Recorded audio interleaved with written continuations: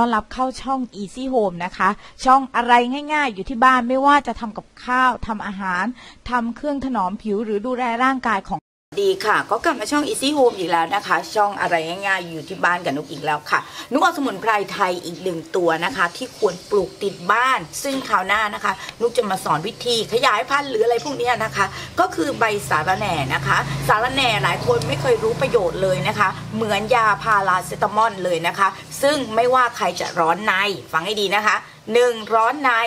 2. ปวดประจำเดือน และ 3. เจ็บคอ ใบสาระแหน่ช่วยคุณได้ค่ะ วิธีการไม่ยากเลยค่ะ แค่ตัดต้นใบสาระแหน่นี่นะคะจะตัดนะตัดกันเรื่อย ๆ นะคะ เดี๋ยวเราตัดเสร็จแล้วเราไปจะไปทำกันในสตูค่ะ ทีนี้นะคะ เราก็เด็ดใบสาระแหน่นะคะ ได้หนึ่งถ้วยตวงนะคะ กับน้ำหนึ่งลิตรนะคะ เดี๋ยวเราจะไปต้มกันนะคะ โดยมีวิธีการต้มเพื่อให้ได้ตัวยาที่เหมือนกับพาราเซตามอลเลยค่ะ เดี๋ยวเราไปดูกันค่ะ หลังจากนั้นนะคะ เราจะตั้งน้ำให้เดือดกันค่ะ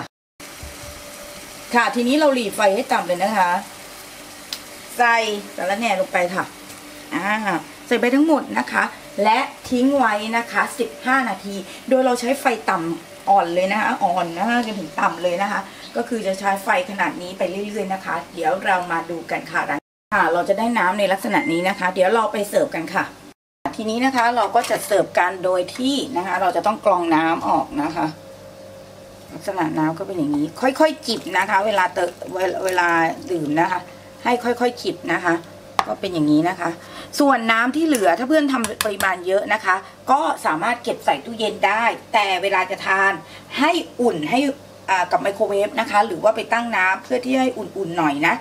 และที่สำคัญนะคะจะช่วยในเรื่องการของการเร่งเผาผลาญได้ดีมากยิ่งขึ้นนะคะ ส่วนใครเจ็บคอใช้วิธีนี้แหละค่ะค่อยๆทำไป ส่วนใครที่มีแผลในปากนะคะ สามารถดื่มกินเพื่อแก้ร้อนในได้ และกลัวปากก็คือ เอาน้ำเนี่ยค่ะใส่ในปากบ้วนบ้วนบ้วนแล้วก็บ้วนทิ้งนะคะ ส่วนใครมีประจำเดือนก็ทำได้ค่อยๆจิบนะคะ ซึ่งบอกเลยว่าต้องเสิร์ฟอุ่นเท่านั้นนะคะ ถึงจะให้เห็นผลนะคะ เนื่องจากคนเป็นประจำเดือนเนี่ยถ้าเกิดกินอะไรที่เย็นไปเนี่ยก็จะทำให้ปวดท้องมากยิ่งขึ้นนะคะ ก็ลองไปทำดูค่ะ ไม่ยากเลยนะคะ เดี๋ยวเราไปดูสรรพคุณนะคะ ของตัวเจ้าใบสารแหน่กันนะคะ ว่าใบสารแหน่มีสารอะไรทำให้เหมือนมีฤทธิ์เหมือนยาแก้ปวด หรือว่ายาบรรเทาแก้อักเสบได้นะคะ สารแหน่นะคะ จัดเป็นพืช สวนครัวนะคะที่เรานิยมปลูกกันนะคะ ซึ่งมีลักษณะเฉพาะตัวคือมีกลิ่นหอมนะคะ จึงถูกนำมาประกอบอาหารและใช้เป็นสมุนไพรเพื่อบรรเทาอาการเจ็บป่วยต่างๆนะคะ ซึ่งมีฤทธิ์คล้ายๆ กับพาราเซตามอลนะคะ ซึ่งวันนี้นะคะเราก็จะบอกว่าสาระแหน่นะคะ เป็นพืชวงเดียวกับมิ้นและกะเพรานะคะ ลักษณะของใบสาระแหน่ก็ใบจะป้อมๆเขียวๆนะคะ ค่อนข้างหนาริมใบจะหยักโดยรอบค่ะ ภายในใบมีกลิ่นนะคะ มีกลิ่นหอมจางๆคล้ายกลิ่นเลมอนนะคะ เมื่อทานแล้วจะให้รู้สึกว่าเย็นปากจึงนิยมเคี้ยวใบสาระแหน่เพื่อป้องกันกลิ่นปากนั่นเองค่ะนะคะเราจะมาบอกว่าลดอาการปวดทั้ง 3 อาการนี้ได้อย่างไรคะอาการแรกคือ คลื่นไส้อาเจียนรวมถึงปวดท้องมวนท้องนะคะ ซึ่ง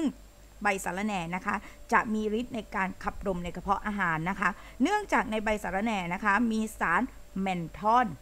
นะคะ มีซึ่งสารเมทอนตัวนี้นะคะ มีฤทธิ์ขับลม และลดอาการหดเกร็งของลำไส้นะคะ จึงช่วยให้แก๊สหรือลมในกระเพาะอาหารสามารถขับออกมาได้ง่ายนั่นเองค่ะนะคะ ช่วยในเรื่องของเจ็บคอ และลดไข้หวัดนะคะ เนื่องจากสารแหน่นะคะมีฤทธิ์ในการฆ่าเชื้อโรค จึงช่วยป้องกันอาการเจ็บป่วยที่เกิดจากเชื้อไวรัส และเชื้อแบคทีเรียได้นะคะ นอกจากนี้สารแหน่นะคะมีสรรพคุณในการขับเหงื่อนะคะ จึงทำให้ไข้หวัดหายเร็วขึ้นนั่นเองค่ะส่วนอันที่3นะคะก็คือมีแผลในปากนะคะ เนื่องจากสารแหน่นะคะมีสารพิเศษนะคะที่ช่วยในบรรเทาอาการ เจ็บป่วยนะคะ แล้วก็ร้อนในเพราะมากนะคะ แผลในปากจะมักเกิดจากอาการร้อนในนั่นเองค่ะ ซึ่งสารแหน่ก็ไปช่วยตรงนี้ขับเหงื่อนะคะ ให้อาการร้อนในหายไวขึ้น คนที่เป็นแผลในปากก็จะมีอาการดีขึ้นในที่สุดนะคะ หลังจากไปดูมาแล้วนะคะ เป็นไงมั่งคะ